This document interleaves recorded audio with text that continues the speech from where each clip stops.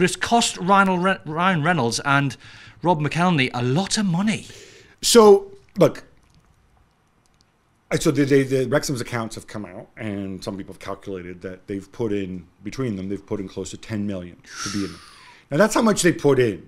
Now, what these calculations don't calculate is how much are they getting out in terms right. of obviously their own personal publicity for themselves. Yeah. Also, I believe they also made a reality TV show, yeah. which is on some streaming network. Right. I believe Disney Plus. Might have sold for um, 11 million.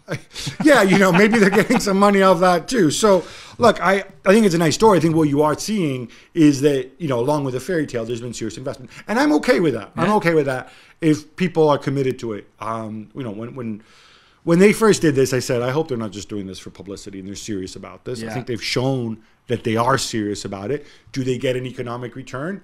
Yes. Are they still losing money on it? I don't know, mm. but that's okay. Yeah. Because I think they've well, done. they're something. okay with it. Happy days. Exactly. I'm, I'm, I'm all right with that.